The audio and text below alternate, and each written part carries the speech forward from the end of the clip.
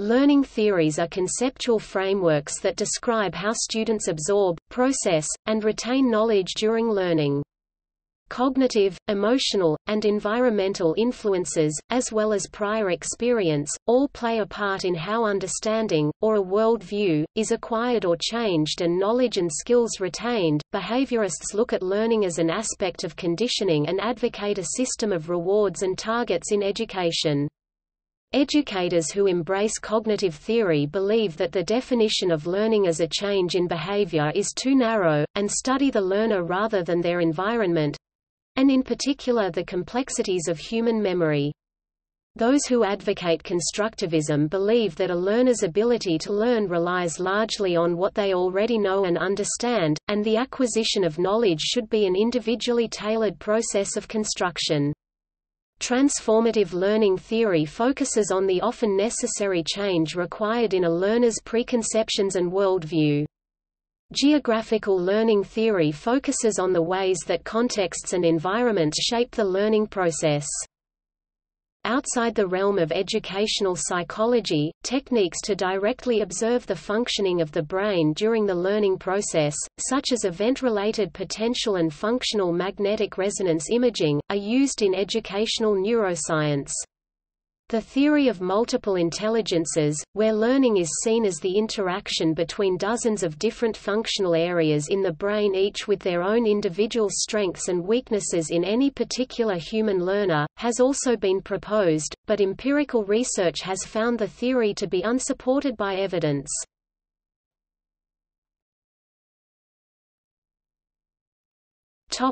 Educational philosophy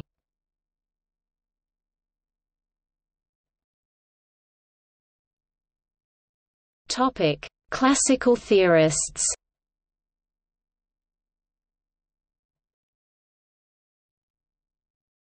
Topic: Plato. Plato 428 BC to 347 BC proposed the question, how does an individual learn something new when the topic is brand new to that person? This question may seem trivial, however, think of a human like a computer. The question would then become, how does a computer take in any factual information without previous programming? Plato answered his own question by stating that knowledge is present at birth and all information learned by a person is merely a recollection of something the soul has already learned previously, which is called the theory of recollection or Platonic epistemology. This answer could be further justified by a paradox, if a person knows something, they don't need to question it, and if a person does not know something, they don't know to question it.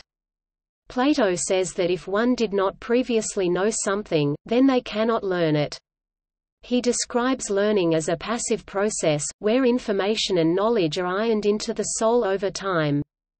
However, Plato's theory elicits even more questions about knowledge. If we can only learn something when we already had the knowledge impressed onto our souls, then how did our souls gain that knowledge in the first place? Plato's theory can seem convoluted, however, his classical theory can still help us understand knowledge today.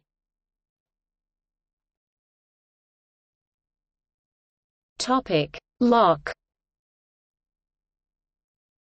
John Locke (1632–1704) offered an answer to Plato's question as well.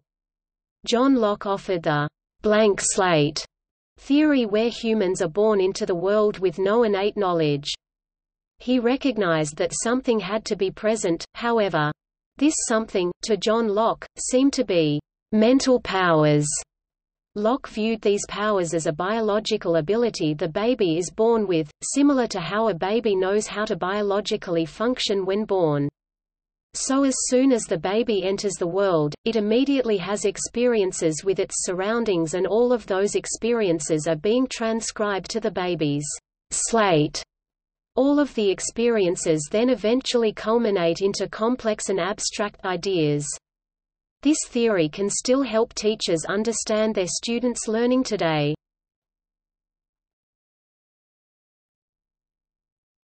Topic: Educational psychology.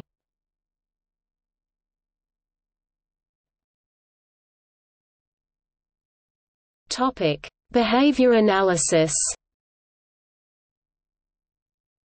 The term, behaviorism, was coined by John Watson (1878–1959). Watson believed the behaviorist view is a purely objective experimental branch of natural science with a goal to predict and control behavior.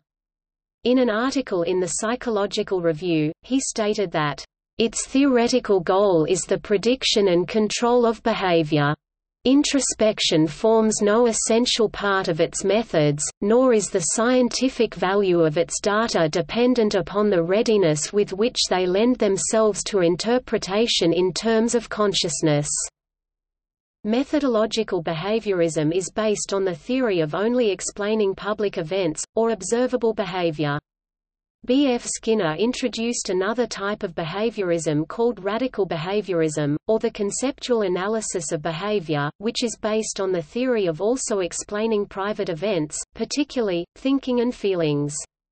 Radical behaviorism forms the conceptual piece of behavior analysis. In behavior analysis, learning is the acquisition of a new behavior through conditioning and social learning.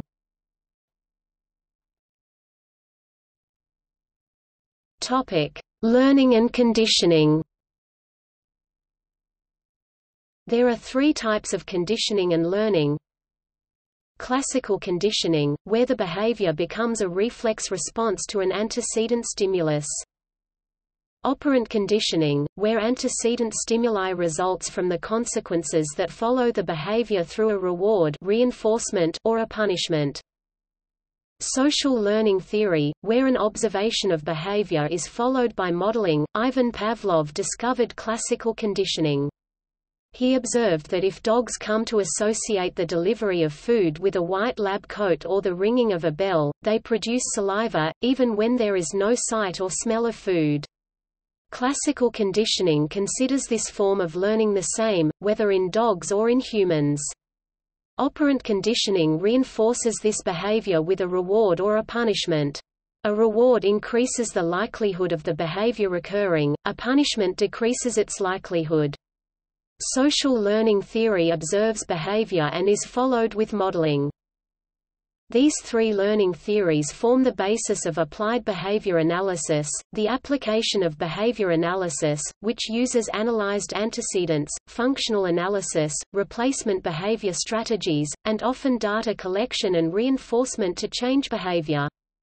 The old practice was called behavior modification, which only used assumed antecedents and consequences to change behavior without acknowledging the conceptual analysis, analyzing the function of behavior and teaching of new behaviors that would serve the same function was never relevant in behavior modification. Behaviorists view the learning process as a change in behavior, and arrange the environment to elicit desired responses through such devices as behavioral objectives, competency-based learning, and skill development and training. Educational approaches such as early intensive behavioral intervention, curriculum-based measurement, and direct instruction have emerged from this model. Topic: Transfer of learning Transfer of learning is the idea that what one learns in school somehow carries over to situations different from that particular time and that particular setting. Transfer was amongst the first phenomena tested in educational psychology. Edward Lee Thorndike was a pioneer in transfer research. He found that though transfer is extremely important for learning, it is a rarely occurring phenomenon. In fact, he held an experiment where he had the subjects estimate the size of a specific shape and then he would switch the shape. He found that the prior information did not help the subjects, instead it impeded their learning. One explanation of why transfer does not occur often involves surface structure and deep structure. The surface structure is the way a problem is framed. The deep structure is the steps for the solution. For example, when a math story problem changes contexts from asking how much it costs to reseed a lawn to how much it costs to varnish a table, they have different surface structures, but the steps for getting the answers are the same. However, many people are more influenced by the surface structure. In reality, the surface structure is unimportant. Nonetheless, people are concerned with it because they believe that it provides background knowledge on how to do the problem. Consequently, this interferes with their understanding of the deep structure of the problem.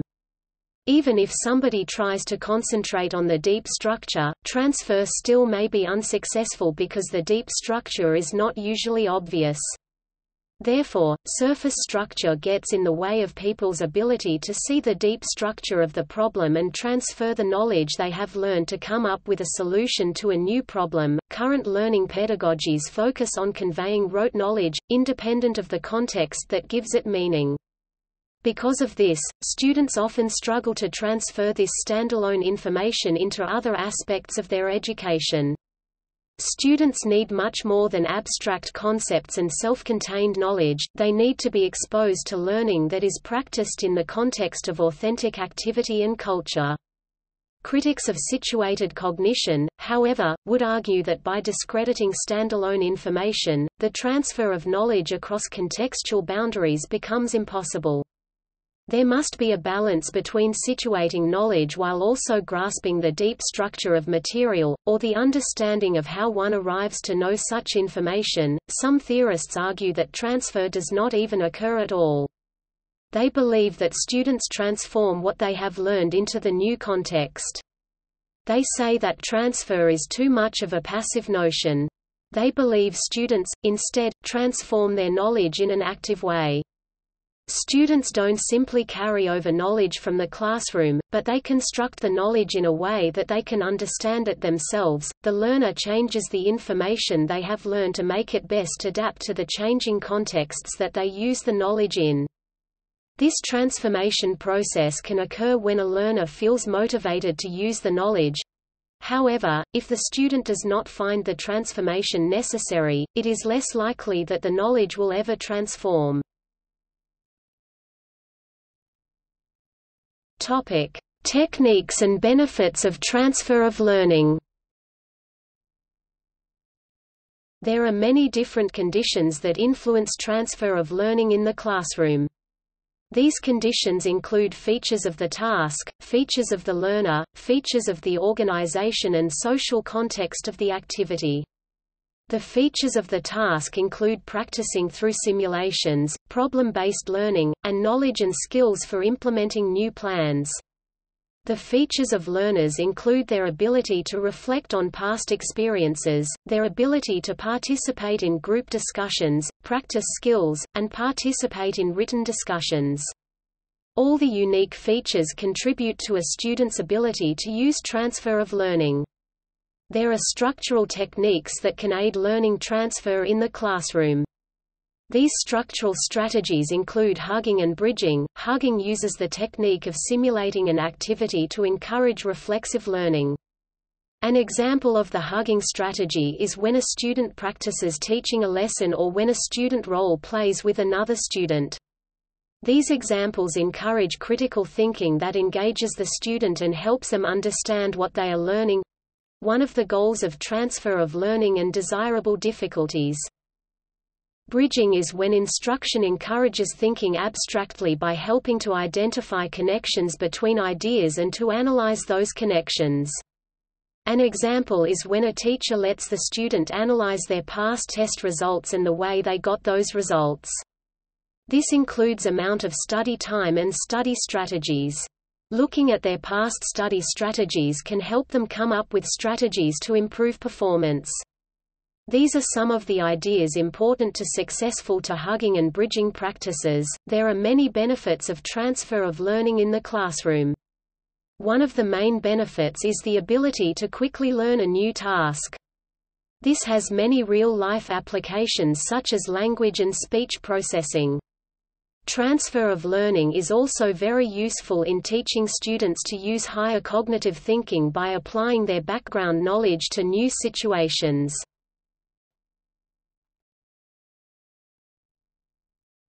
Topic: Cognitivism.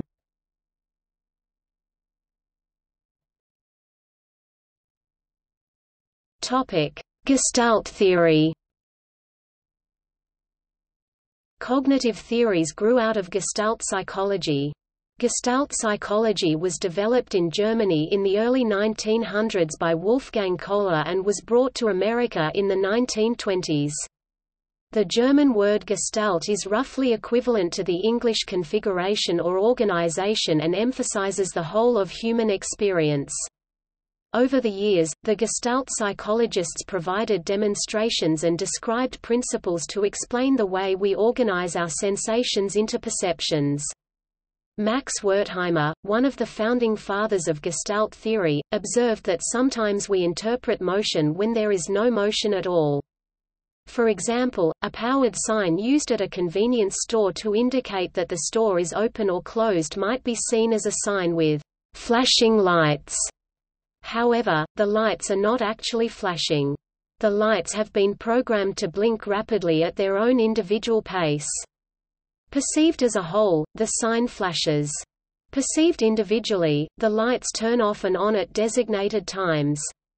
Another example of this would be a brick house. As a whole, it is viewed as a standing structure. However, it is actually composed of many smaller parts, which are individual bricks. People tend to see things from a holistic point of view rather than breaking it down into sub-units. In Gestalt theory, psychologists say that instead of obtaining knowledge from what's in front of us, we often learn by making sense of the relationship between what's new and old. Because we have a unique perspective of the world, humans have the ability to generate their own learning experiences and interpret information that may or may not be the same for someone else. Gestalt psychologists criticize behaviorists for being too dependent on overt behavior to explain learning. They propose looking at the patterns rather than isolated events. Gestalt views of learning have been incorporated into what have come to be labeled cognitive theories. Two key assumptions underlie this cognitive approach, that the memory system is an active organized processor of information and that prior knowledge plays an important role in learning. Gestalt theorists believe that for learning to occur, prior knowledge must exist on the topic. When the learner applies their prior knowledge to the advanced topic, the learner can understand the meaning in the advanced topic, and learning can occur. Cognitive theories look beyond behavior to consider how human memory works to promote learning, and an understanding of short-term memory and long-term memory is important to educators influenced by cognitive theory. They view learning as an internal mental process including insight, information processing, memory and perception where the educator focuses on building intelligence and cognitive development. The individual learner is more important than the environment.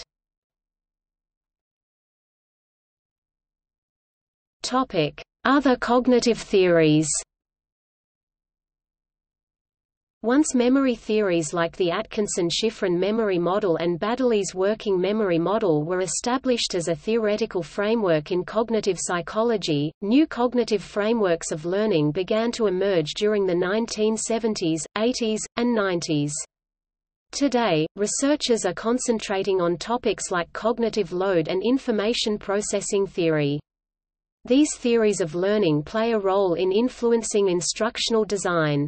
Cognitive theory is used to explain such topics as social role acquisition, intelligence and memory as related to age. In the late 20th century, situated cognition emerged as a theory that recognized current learning as primarily the transfer of decontextualized and formal knowledge. Bredo 1994 depicts situated cognition as shifting the focus from individual in environment to individual and environment. In other words, individual cognition should be considered as intimately related with the context of social interactions and culturally constructed meaning. Learning through this perspective, in which known and doing become inseparable, becomes both applicable and whole.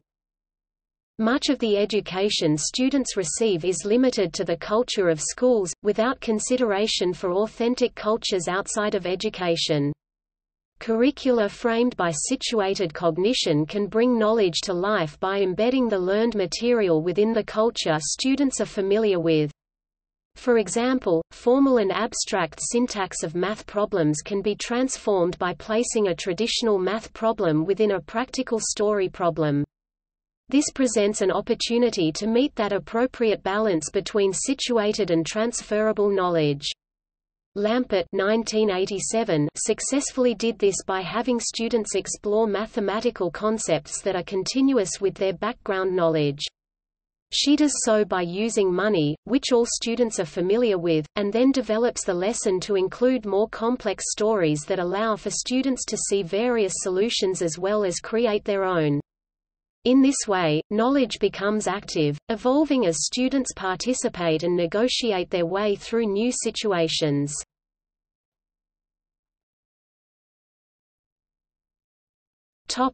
Constructivism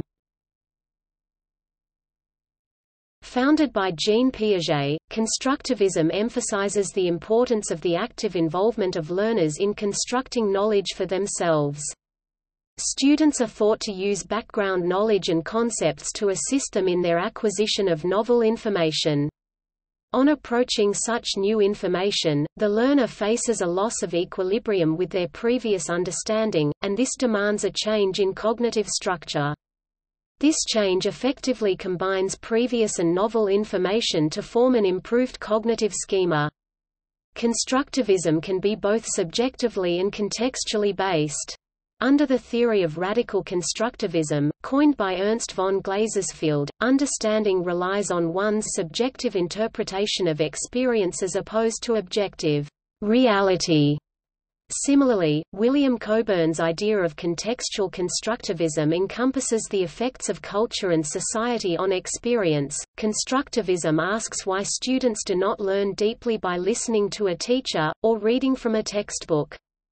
To design effective teaching environments, it believes one needs a good understanding of what children already know when they come into the classroom. The curriculum should be designed in a way that builds on the pupil's background knowledge and is allowed to develop with them. Begin with complex problems and teach basic skills while solving these problems. The learning theories of John Dewey, Maria Montessori, and David A. Kolb serve as the foundation of the application of constructivist learning theory in the classroom. Constructivism has many varieties such as active learning, discovery learning, and knowledge building, but all versions promote a student's free exploration within a given framework or structure. The teacher acts as a facilitator who encourages students to discover principles for themselves and to construct knowledge by working answering open-ended questions and solving real-world problems. To do this, a teacher should encourage curiosity and discussion among his, her students as well as promoting their autonomy.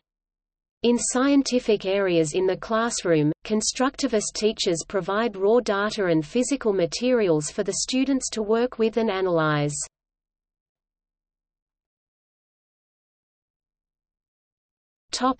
Transformative learning theory Transformative learning theory seeks to explain how humans revise and reinterpret meaning. Transformative learning is the cognitive process of effecting change in a frame of reference. A frame of reference defines our view of the world. The emotions are often involved. Adults have a tendency to reject any ideas that do not correspond to their particular values, associations and concepts. Our frames of reference are composed of two dimensions, habits of mind and points of view. Habits of mind, such as ethnocentrism, are harder to change than points of view. Habits of mind influence our point of view and the resulting thoughts or feelings associated with them, but points of view may change over time as a result of influences such as reflection, appropriation and feedback. Transformative learning takes place by discussing with others the reasons presented in support of competing interpretations, by critically examining evidence, arguments, and alternative points of view. When circumstances permit, transformative learners move toward a frame of reference that is more inclusive, discriminating, self-reflective, and integrative of experience.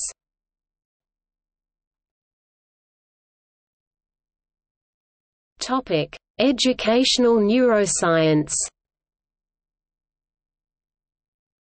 American universities such as Harvard, Johns Hopkins, and University of Southern California began offering majors and degrees dedicated to educational neuroscience or neuroeducation in the first decade of the 21st century. Such studies seek to link an understanding of brain processes with classroom instruction and experiences. Neuroeducation analyzes biological changes in the brain from processing new information. It looks at what environmental, emotional, and social situations best help the brain store and retain new information via the linking of neurons and best keep the dendrites from being reabsorbed, losing the information. The 1990s were designated the decade of the brain, and advances took place in neuroscience at an especially rapid pace. The three dominant methods for measuring brain activities are event-related potential, functional magnetic resonance imaging and magnetoencephalography MEG. .The integration and application to education of what we know about the brain was strengthened in 2000 when the American Federation of Teachers stated, "...it is vital that we identify what science tells us about how people learn in order to improve the education curriculum." What is exciting about this new field in education is that modern brain imaging techniques now make it possible, in some sense, to watch the brain as it learns, and the question then arises, can the results of neuroscientific studies of brains as they are learning usefully inform practice in this area? The neuroscience field is young. Researchers expected that new technologies and ways of observing will produce new scientific evidence that helps refine the paradigms of what students need and how they learn best. In particular, it may bring more informed strategies for teaching students with learning disabilities.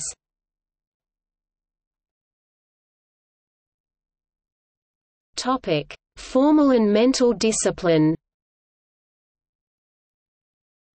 All individuals have the ability to develop mental discipline and the skill of mindfulness, the two go hand in hand. Mental discipline is huge in shaping what people do, say, think and feel. It's critical in terms of the processing of information and involves the ability to recognize and respond appropriately to new things and information people come across, or have recently been taught. Mindfulness is important to the process of learning in many aspects. Being mindful means to be present with and engaged in whatever you are doing at a specific moment in time. Being mindful can aid in helping us to more critically think, feel and understand the new information we are in the process of absorbing. The formal discipline approach seeks to develop causation between the advancement of the mind by exercising it through exposure to abstract school subjects such as science, language and mathematics. With students' repetitive exposure to these particular subjects, some scholars feel that the acquisition of knowledge pertaining to science, language and math is of secondary importance and believe that the strengthening and further development of the mind that this curriculum provides holds far greater significance to the progressing learner in the long haul. D. C. Phillips and Jonas F. Soltis provide some skepticism to this notion. Their skepticism stems largely in part from feeling that the relationship between formal discipline and the overall advancement of the mind is not as strong as some would say. They illustrate their skepticism by opining that it is foolish to blindly assume that people are better off in life, or at performing certain tasks, because of taking particular, yet unrelated courses.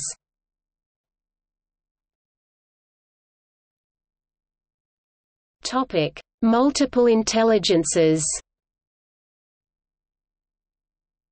The existence of multiple intelligences is proposed by psychologist Howard Gardner, who suggests that different kinds of intelligence exists in human beings. It is a theory that has been fashionable in continuous professional development CPD training courses for teachers.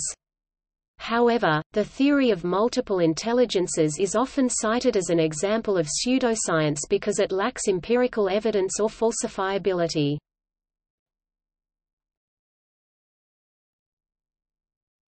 Topic: Multimedia learning.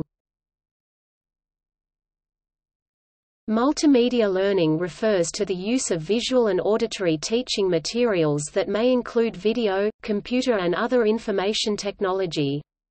Multimedia learning theory focuses on the principles that determine the effective use of multimedia in learning, with emphasis on using both the visual and auditory channels for information processing.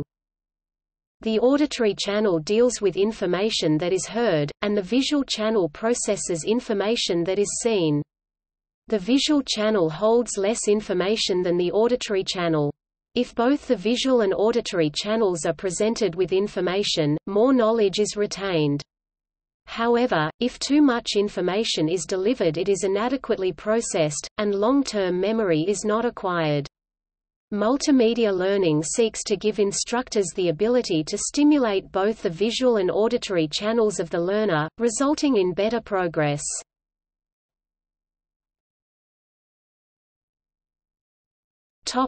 Using online games for learning Many educators and researchers believe that information technology could bring innovation on traditional educational instructions. Teachers and technologists are searching for new and innovative ways to design learner-centered learning environments effectively, trying to engage learners more in the learning process. Claims have been made that online games have the potential to teach, train and educate and they are effective means for learning skills and attitudes that are not so easy to learn by rote memorization. There has been a lot of research done in identifying the learning effectiveness in game-based learning. Learner characteristics and cognitive learning outcomes have been identified as the key factors in research on the implementation of games in educational settings. In the process of learning a language through an online game, there is a strong relationship between the learner's prior knowledge of that language and their cognitive learning outcomes. For the people with prior knowledge of the language, the learning effectiveness of the games is much more than those with none or less knowledge of the language.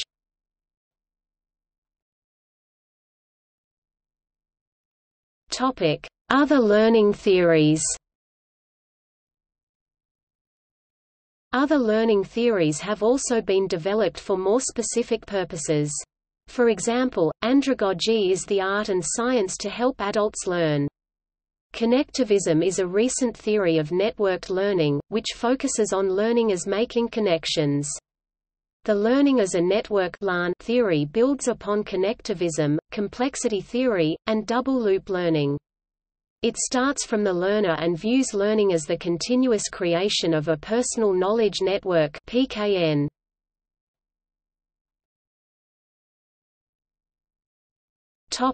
Learning style theories. Learning style theories propose that individuals learn in different ways, that there are distinct learning styles and that knowledge of a learner's preferred learning style leads to faster and more satisfactory improvement. However, the current research has not been able to find solid scientific evidence to support the main premises of learning styles theory.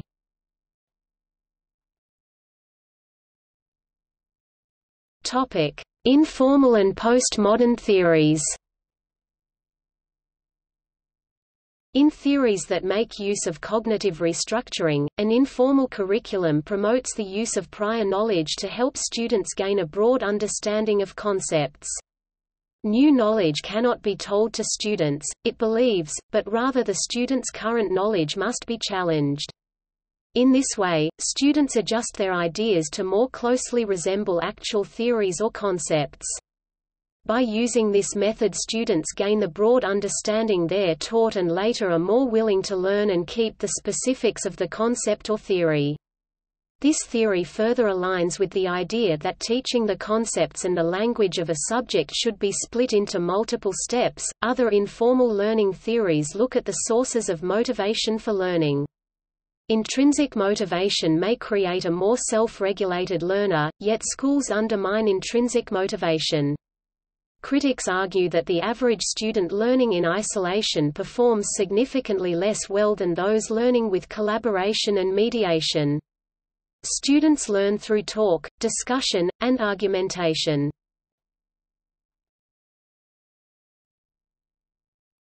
Topic: Educational anthropology.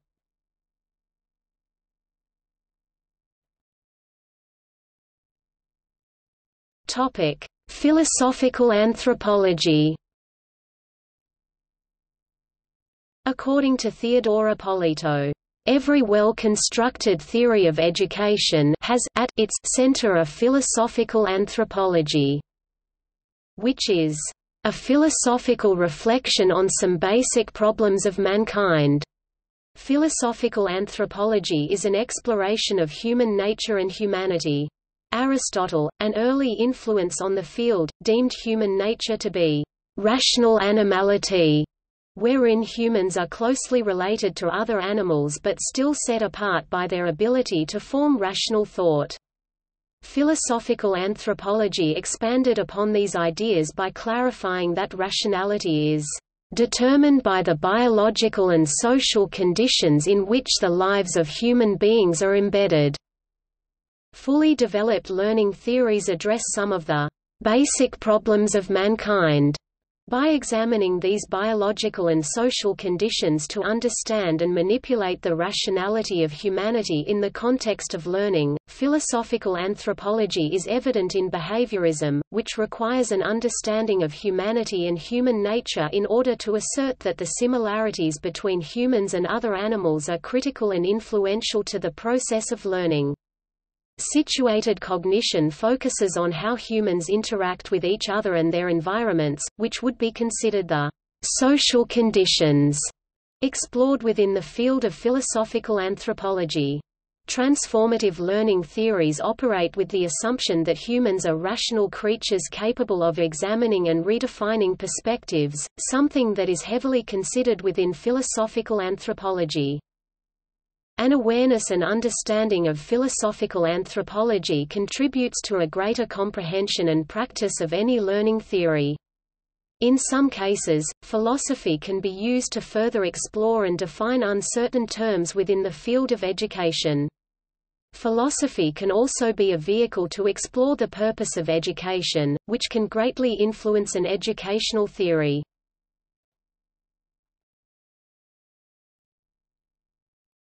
Topic: Criticism.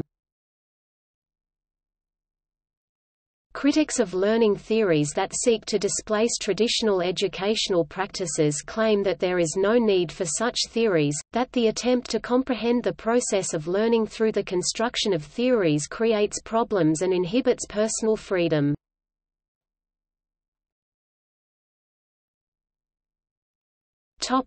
See also Andragogical learning theory Cognitivism learning theory Connectivism learning theory Constructivism learning theory Cultural historical psychology Evidence-based education Instructional theory Instructional design Kinesthetic learning Learning by teaching Learning environment. Learning space. Science, technology, society and environment education about accelerating the learning process Cognitive acceleration. Spaced repetition. Incremental reading about the mechanisms of memory and learning neural networks in the brain. Sleep and learning. Latent learning. Memory consolidation Short-term memory versus working memory Long-term memory Desirable difficulties Declarative memory versus procedural memory The cerebellum and motor learning about learning theories related to classroom learning Contemporary Educational Psychology, Chapter 2, The Learning Process